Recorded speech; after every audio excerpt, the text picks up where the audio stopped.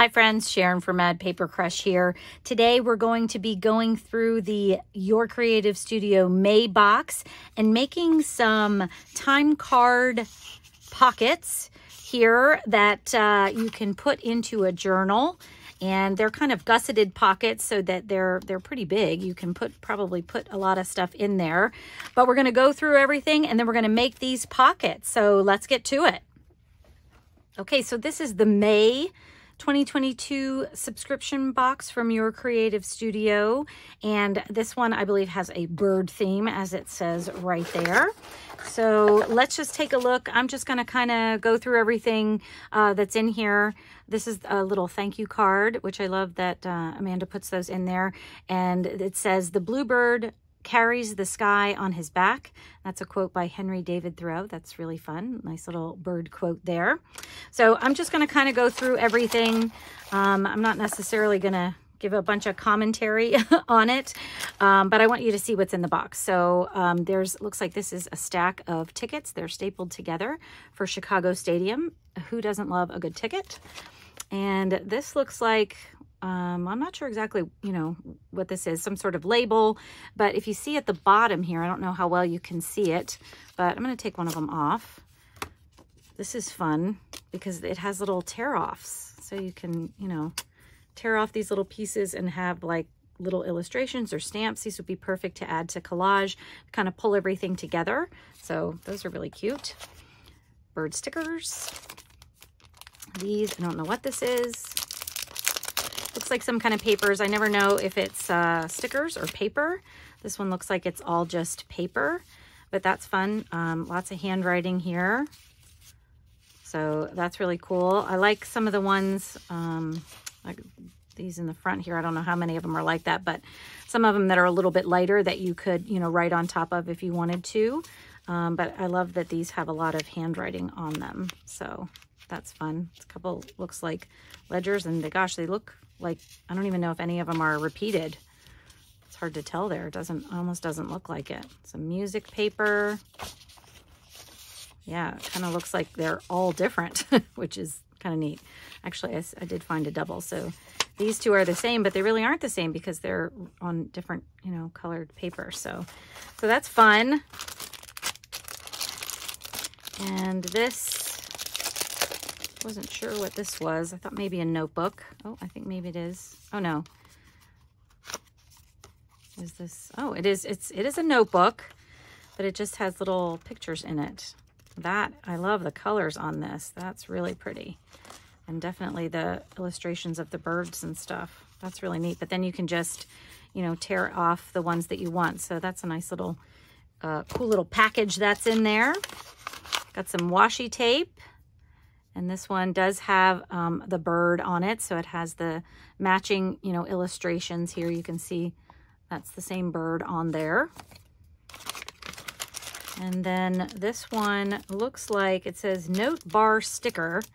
It kind of looks like it might be like washi tape, which I think would be fun, but I don't know if it's like opaque or not. It looks like it has torn edges, which is pretty cool. So, it, you know, you don't have to tear the edges and it looks like it is opaque. It's not see-through, but that's okay.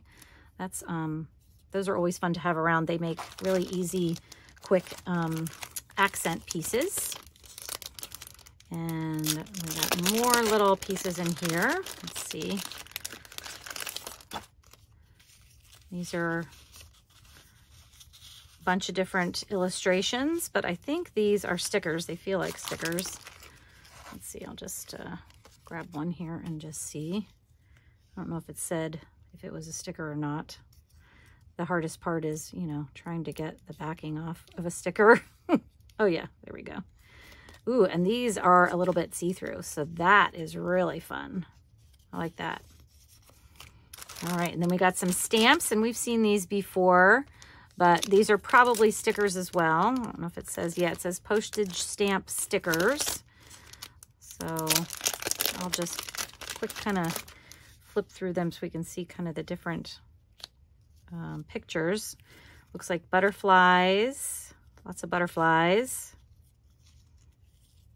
More butterflies, mostly butterflies, but butterflies are great. I love I love um, accenting with butterflies. And then these are clear stamps. So these have been in, this kind of thing has been in these subscription boxes before, not these exact um, designs. But I like that there's a little leaf here with some berries and just some extra leaves. That's really fun. So these, all you do is you tear them off and these, wow, um, sometimes these haven't worked so good for me. Um, let me see if I can find my block. Well, I don't have one there, but I have just this little piece of acrylic here. So that would work really nice uh, for a stamp. So those are great. I love those. And they, like I said, they have nice designs on them. If I can figure out how to put it back in there. All right, and then we have, let's see, this looks like some vellum pieces or maybe even napkin. It feels very light. Might be like napkin weight paper. Yes, like napkin or tissue paper. Yes. It's kind of a little bit shiny on one side, probably more tissue paper than napkin. But I like those because those can be decoupaged and things like that. That's fun. And then our last little package here is, I don't know what. It says MO card. I don't know what that means. So let's pull it out and see what we got. Oops. This one is folded over, but it looks like, so that's a sticker. Looks like there's a bunch of stickers here. And some of these look like they're, they feel like they're probably see-through stickers, transparent stickers. These, anyway. Let's see if I can get one of these apart. Yeah. Yeah, that's very, very light. I don't know if you can see my hand through there, but let's see if we can see a little. I don't want to get it sticky on there, but you can see the butterfly through there. So these are transparent, but then there's looks like there's a bunch that aren't transparent, so that are more opaque. Those are fun too. And look, these um, have some fun shapes on them. Clocks. I love clocks. This looks like some sort of magnifying glass. This has a whole bunch of different things in there. So, so you saw the turntable before, and this looks like a little radio, some papers. I'm not sure these are, these might be just cardstock. Wait, there's a lot of different different things in this package. Yeah, these I think are just cardstock. A couple of those, and then this. Ooh, it says scene creator. So you could I guess fussy cut some of these things. I don't know that they are already cut out. It looks like a sticker, but I don't know that I could fussy cut these all out. That's a, that's a lot of work for, I mean, really little pieces. Unfortunately, I don't have the patience for that. I thought I felt something, but yeah, I really don't think they're already, they're not already like, um, you know, kiss cut, fussy cut on here. Oh, yeah, I'll be uh, trying to cut some of this out because you don't want to sit here watching me do this all day.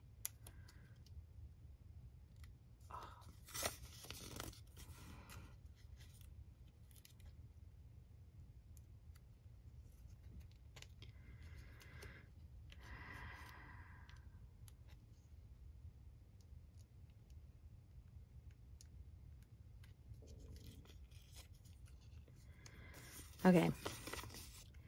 I can't get the back off. It feels like it's probably a sticker, but it's really hard to, to say. But you could definitely cut out some of these pieces, but you can see just by my finger size, those are really small. I'm not sure I will be fussy cutting them out. And then there's another, um, some more papers. These have an interesting texture to them, but they have all kinds of fun things on them.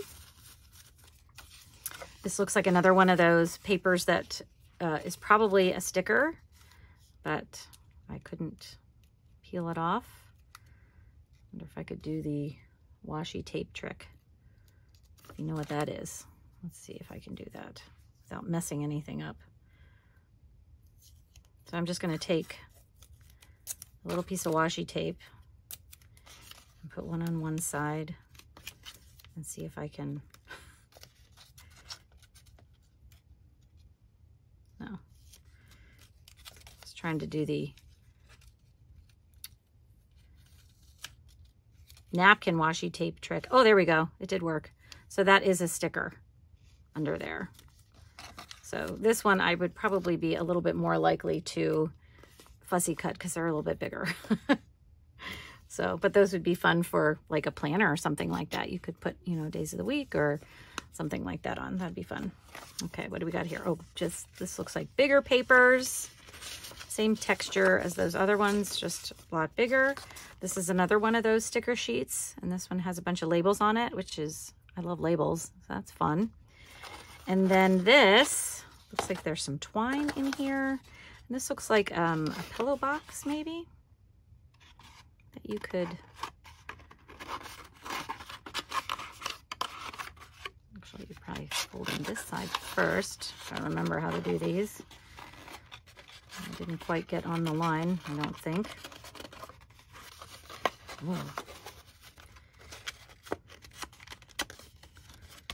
see if I can do the other side. So yes, this looks like a pillow box. You fold it in on these curved edges here.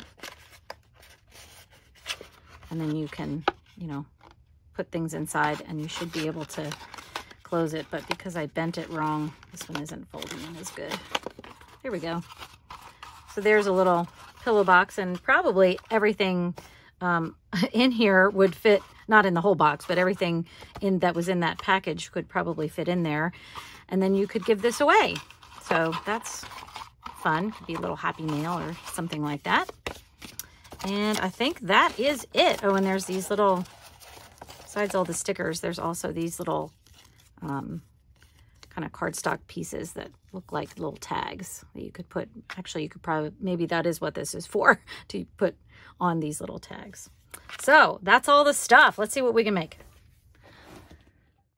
All right, so I decided to grab some old time cards that I had. I have a big stack of these and I wanted to try to use them. So I thought I would try to make some um, time card tickets with all of the things found in the Your Creative Studio box. So right now I'm just trying to mark where the, the large papers, the large rectangular papers that I had come down on the ticket because I thought the bottom part I could fold up into a pocket. So I'm just marking those so that I know where to make my um, crease when I'm folding those up to make a pocket. All right, now I'm just grabbing my scoreboard and where I made those pencil marks, I'm just gonna score each one of my time cards so that when I fold them up, the top of my paper should be at the top of the time card. All right, so now I pulled out my paper cutter because I thought that the pockets were a little bit large. So I wanted to cut down maybe just two of them to have a little bit smaller pocket. I did leave one of them nice and tall um, just so I'd have one that was a little bit different than the other ones, but the other two I just cut down a little bit.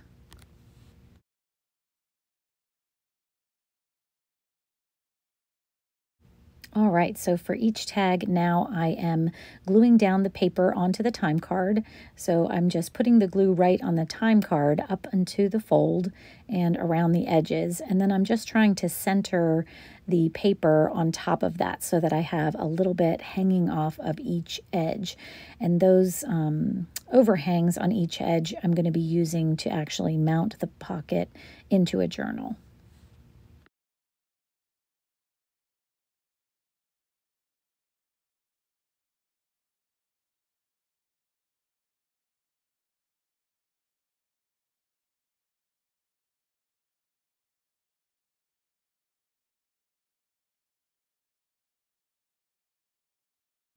All right, and because I am going to be using those overhangs, I'm just cutting off a little bit, a little triangle off the corner so that when I fold those sides in, they don't show. So I'm just cutting them all down so that they'll be ready to go when I want to put them inside a journal.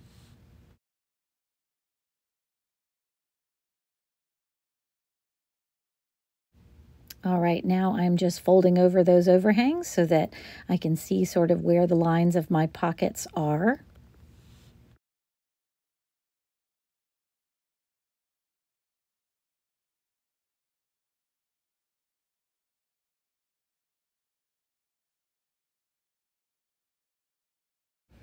And now I'm heading to some of those smaller squares. I think they're about three inch squares of paper there. And I'm going to use those for gussets on the sides of the smaller pockets.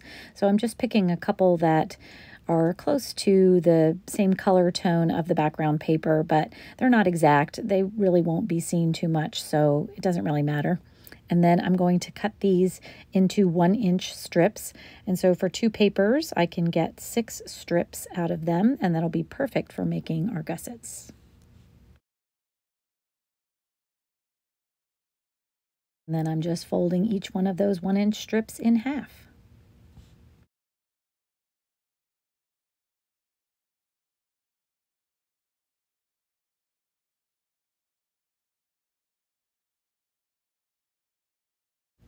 All right, now I'm taking the strips, and since they are a little bit larger than my pocket, I'm just measuring them to cut them down to be the size of the pocket. And then I'm going to cut little um, wedges off of these two so that when I put my gussets in, they won't show on the sides.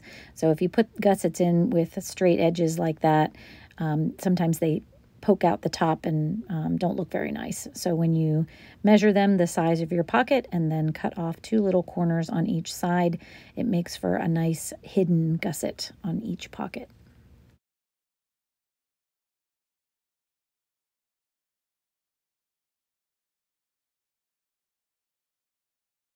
All right, and now I'm just gluing the gussets in. And to do that, I'm opening up the pocket and I'm putting the gussets, just gluing one side of that folded one inch piece of um, paper there and just putting it down on the inside of the pocket. So I'll just do that for each of them and let them dry.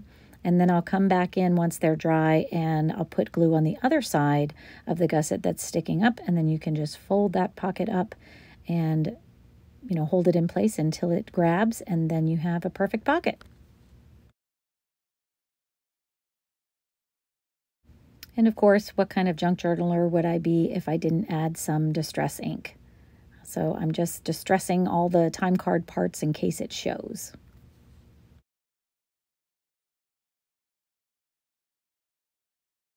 All right, so now we're going to do some decorating, and I just decided to grab some more of those little scrap papers and then also the bird pictures in the little notebook. They were really cute, and I thought the um, color tone of them matched well with some of the vintage papers. So I'm just, for this one, I'm just adding a little piece of, um, looks like just an old, you know, typewriter paper there, and I'm going to add some distress ink on it and then I'm going to cut down the top of this bird um, paper so that he's closer to the top of the pocket so more of him shows. And then we'll put him down as well.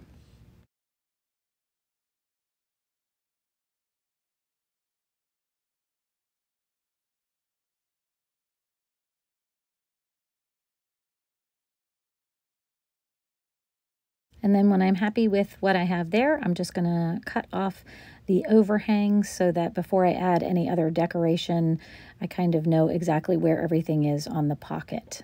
So I went back to the um, package of what looks like little torn pieces of washi tape. There was a bunch of different um, things I could choose, and I tried to pick um, pieces that were a little bit contrasting to what I had on my pocket. So if I added something you know, um, I'm looking for something for the top now that contrasts pretty well with the um, top color of the paper that I have down. So, and um, I decided to kind of wrap some of them around the back so that they would, you know, kind of go off the paper there. All right, first one done. Now the second one, I pulled another one of those bird pictures out and I decided that I liked the whole thing for this one. So I decided to use it. and since only part of it will fit onto the pocket, I'm just going to sort of cut it in half. Not quite in half, but where the top of the pocket is. And then I was trying to decide what I should put underneath it since the bird picture itself doesn't quite cover the whole time card and um, there was only just a little bit on each side so I just took this one piece of paper and tore it in half and put it on either side and left the middle open since that would be covered with my bird photo. So now I'm going to glue everything down there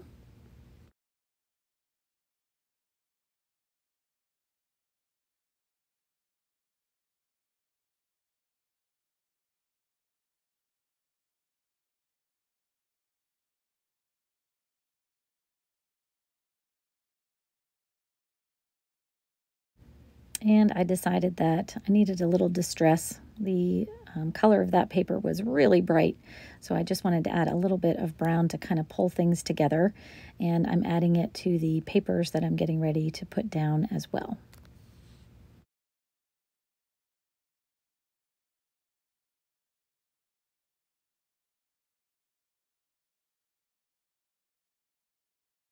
All right, I'm grabbing my glue. I'm pretty happy with what I have cut here and the distress, and so I'm just adding glue, and this will go on the front face of the pocket, and I'm trying to line it up at the very top edge of the pocket there.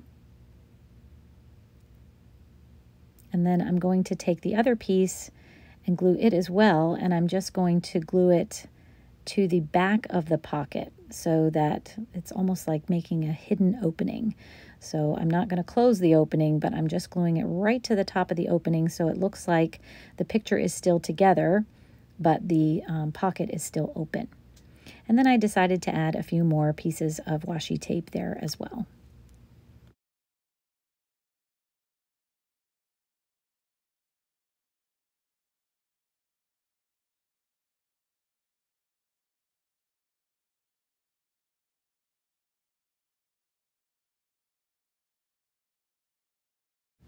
All right, on to the third pocket.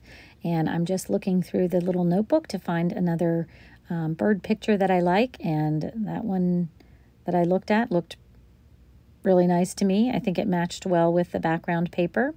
And this time I grabbed the washi tape from the subscription box and decided to use it on the edges.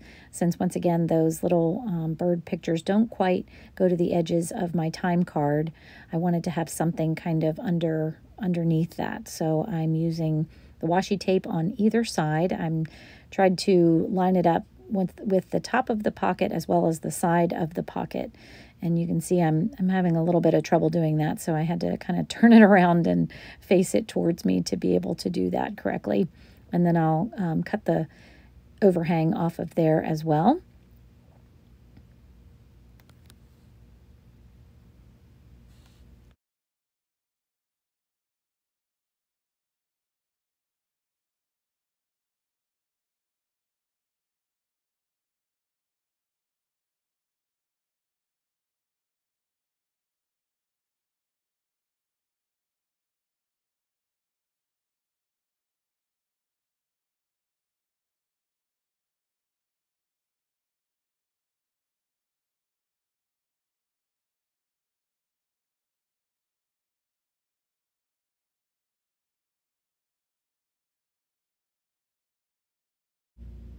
And I'm going to cut off the excess on this last one.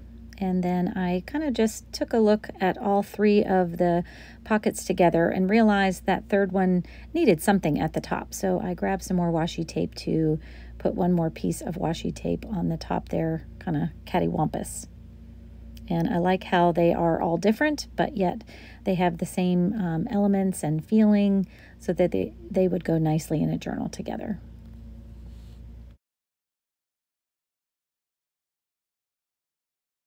And since these are going to be double pockets, I decided to do a thumb notch in the top of each one. So I just kind of marked the center for myself so I didn't miss the miss the center and then I'm just punching a little thumb notch in the top of each one so that when it's in a journal you can kind of see that there is an, an additional pocket up at the top there.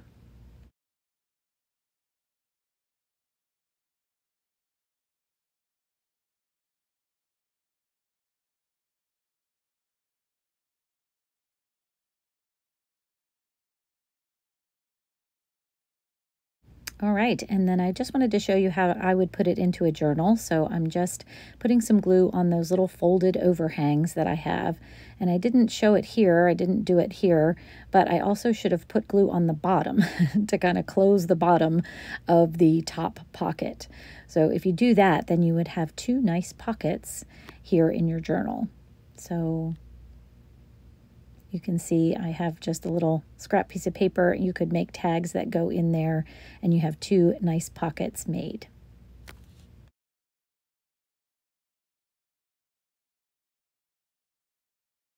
And there you have it, friends, some layered time card pockets with the Your Creative Studio subscription box.